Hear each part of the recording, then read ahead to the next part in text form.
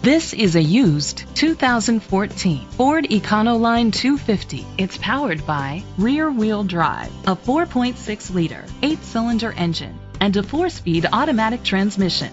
With fewer than 30,000 miles, this vehicle has a long road ahead.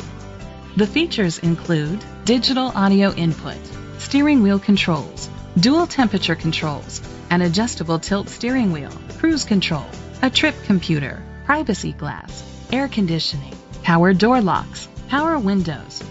Safety was made a priority with these features. Side airbags, traction control, stability control, a passenger airbag, low tire pressure warning, front ventilated disc brakes, anti-lock brakes. Great quality at a great price.